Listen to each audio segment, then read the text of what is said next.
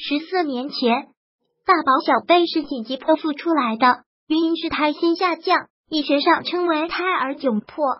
躺在手术台上，当听见他的哭声时，虽然并不是那么嘹亮且有气呀，热泪涌了上来。一来是初为人母，二来是当时天真的想，孩子会哭，那就说明没什么问题。医生也没有说孩子有什么问题，在月子里。发现孩子特别容易惊跳，一点点声音都会手脚都举起来，隐隐约约有点不安，内心总是觉得不太对，但说不出什么来。后面证明我的感觉是没错的。这些所谓的有劲打挺，其实都是脑损伤的其中一种表现，医学上叫做肌张力过高，另外也有肌张力过低的。直到孩子两个月，和孩子再去儿保科。刚好遇上对这方面有点认识的 L 医生，他说孩子的心门比较大，我赶紧问心门大要注意什么呢？比如呢？他回答了一句：注意神经系统方面。后面无法淡定，和孩子爸说出我的疑惑，结果是去直接找一个儿科医生开大洛克拉和脑电图检查，检查的结果是我和孩子爸没办法接受的，上写着脑积水。这一路的过程中，孩子还是一惊一醒，爱哭闹，常喷射状吐奶。后来在脑科说，这个是因为颅压升高导致喷射状吐奶。在煎熬中辗转了第二家，孩子每天吊针的结果就是从头打到脚，这血管打沉了，那个血管打穿了，又换一个位置，针口肿的老高，抱着一气哭成一团是常有的事。记得有一天。扎了十四针都打不进去，一个护士叹了一口气，低声跟我说：“哎，你的孩子得了这个病，注定就要受这个苦，过这一个坎。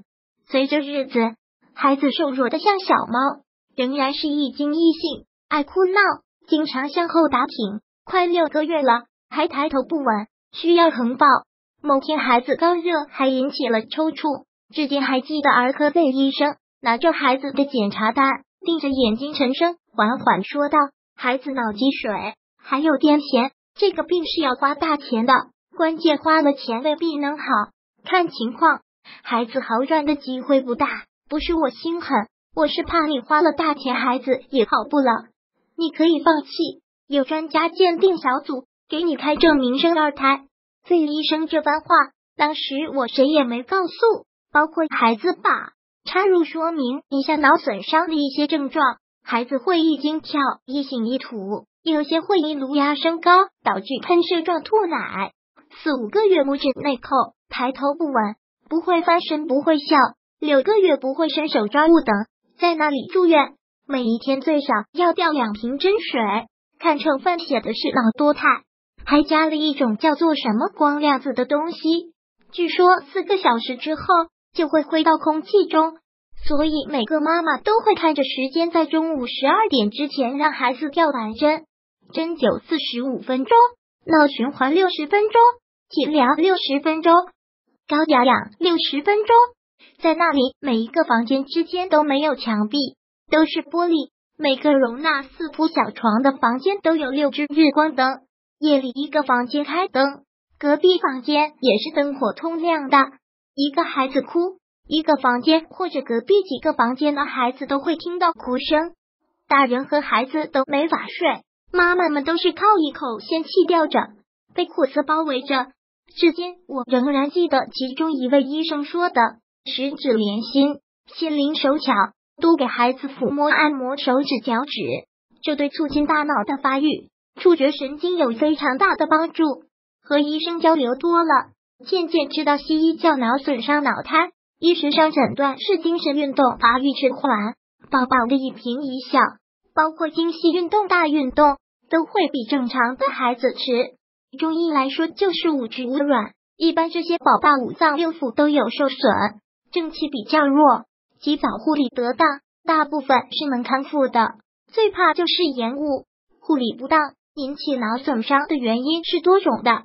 在肚子里面缺氧，或者母体很寒、气血不足的，或出生时引起缺氧，或感染了猫狗的弓形虫病毒，还有一些原因是未解之谜。所有这些情况的孩子都在那里会见到有。是的，贝贝曾经患过脑损伤，一提脑损伤这三个字，就感觉和智力扯上关系。现在贝贝已上初中，比我高十公分，成绩在重点中学普通班中上，体育赛八百米、一千五百米是参加校运会的选手，曾获得冠军、亚军。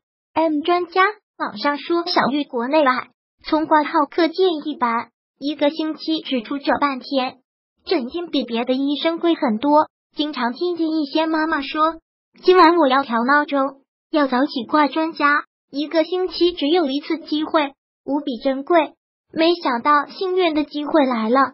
那天孩子做针灸，刚在头部、大腿、手部共插好二十四针，有些针还跟机器连在一起电疗。刚爱抚好哭闹的孩子，年轻的主治医生急匆匆过来带喜色的通知：好消息，U M 专家抽查病房，刚好抽查到你孩子的房间，赶紧回去病房等我。我说这针灸怎么办？才刚刚开始，主治医生和针灸师以及周围的妈妈们都劝我一定要抓住机会。一番犹豫挣扎后，还是拔掉了刚刚插上不久的针，抱着孩子匆匆跑回病房。去了病房，一边给孩子用敲击方式做检查，一边说：“不错不错。”我大喜。他问：“现在是刚四个月吧？”“不是，有八个月了。”你是怎么做妈的？如果是八个月，那这孩子就太差了，太傻了。说完，扬长而去。一群年轻的医生，包括主治医生，赶紧在背后跟随着。我呆了一下，实在不甘，抱起孩子跑步，在走廊里追上专家。M 主任，M 主任，那我的孩子应该怎么办？情况真的很糟糕吗？我应该怎么做？依然是刚才的声调。情况是非常差，你要给他吃鸡鹅鸭鱼，营养都跟不上，脑部受损怎么会好？年轻的主治医生回过来轻声跟我说：“主任是书很差，不过我觉得孩子并不是很差。”我擦了把泪，说了声谢谢钟医生，又抱着孩子回到针灸室。现在想来，最后我的孩子也就是普通的医生，加上自己的努力，按摩好的。却是医生没有高下，能够信任的，有缘分的就是好医生。脑科的孩子很少见到有孩子笑，特别是笑出声。我家的贝贝是六个多月第一次笑出声。某天，我对着他唱了一首歌，他咯咯笑起来，周围的人都笑了。到现在还记得。S 妈羡慕的眼神，叹了口气，低低的说：“你孩子会笑了，真好的，哎。”如果我孩子对我笑一笑，让我从楼上跳下去都愿意。话说的如此极端，让我呆了。原来 S 的父母是做生意的，钱赚的不少，夫妻二人感情也很好。S 是他们的第四个孩子，前面三个孩子都是不健康夭折的。夫妻二人花了大钱去一家什么基因研究所做个全身的检查，才要这个孩子生下来白白胖胖。头发乌黑，一家人都很高兴。后来才发现，孩子眼珠子黑黑的，但不转动，到了五个月也不会翻身抬头。去了一家还算是比较好的看，但看的是骨科，他们都认为是骨头有问题，所以翻不了身，抬不起头。骨科医生就认为是严重的缺钙，让他们大量补钙。结果补了两个月，并没有见有什么起色。辗转来到这里。聂依然是去骨科那里排队挂号，刚好脑科有一个实习生，经过一看，孩子的症状明显就是脑瘫儿，提醒建议他们挂脑科，才来到这里。像这种明显就是耽误了。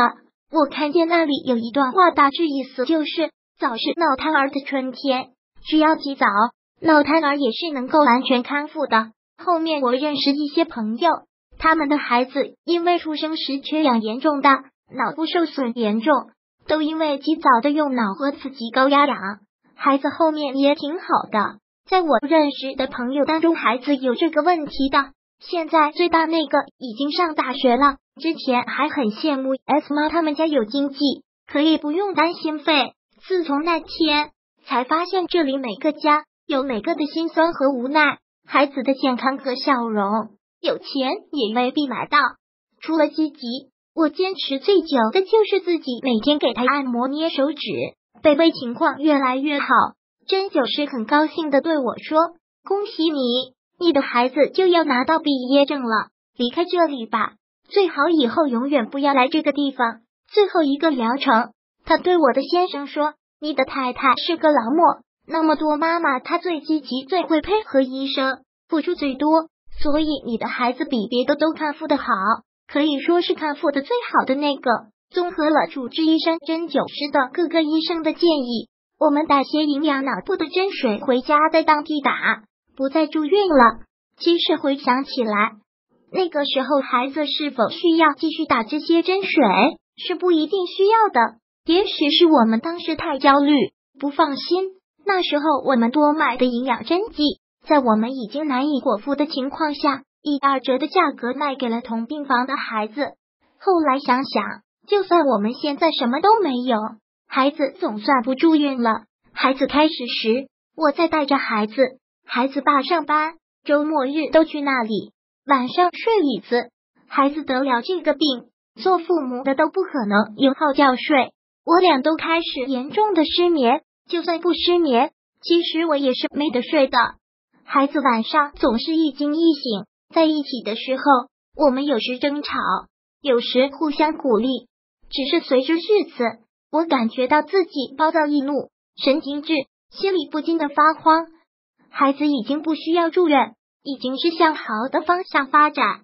为什么我会这样？某天，我心里像揣着一块石头，不明白是什么原因。无端端的就向孩子爸发火，摔门而去。一出家门口，就收到他的信息：“老婆，就算我们现在家里什么都没有，但是也总比一家人住在好。相信我们家会越来越好的。”我的眼泪流了下来，接纳自己的情绪就好，一切都会过去的。有人认识到了自己，自然会心里平静点。包括孩子，因为经过那么漫长的。也有情绪要释放，后面几年经常在夜里一点钟哭醒，甚至有一次白天他玩着玩具，突然抽抽噎噎的来到我身边，说：“妈妈，我突然之间好想哭。”我蹲下来拥抱着他，说：“想哭就哭吧。”孩子一下放声大哭，那一刻我也哭了。这一路的过程有泪水也有欢笑，在家里我经常让孩子拿这个卷纸筒做麦克风。教他做小主持人，一家三口轮流上台，就是在客厅中央表演节目。每次到孩子爸，我和孩子都要笑到滚的，因为他说不会讲故事，不知道表演什么。我提议他学动物叫，或者是时装表演，歪歪扭扭也没关系，哈哈。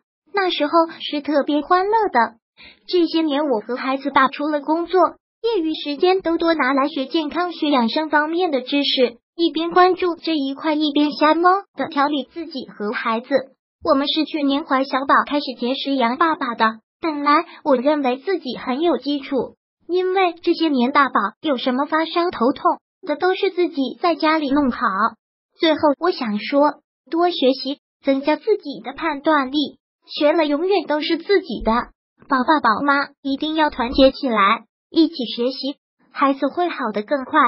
曾医生评论。五迟五软的情况多见于母体虚寒引发的肝肾脾不足，同时也可能出现造成水液代谢的问题，脑积水。某种的母亲的，其实还可以介入中医的方式，比如推拿、艾灸或者汤药。当然，完全使用中医的方式也可以治愈。中医的的思路是调理脾胃，让孩子的胃口和消化能力得到提升，在这基础上来补足肝肾的功能。往期精彩内容回顾，如果喜欢本视频，请分享并订阅本频道，别忘了按赞哦。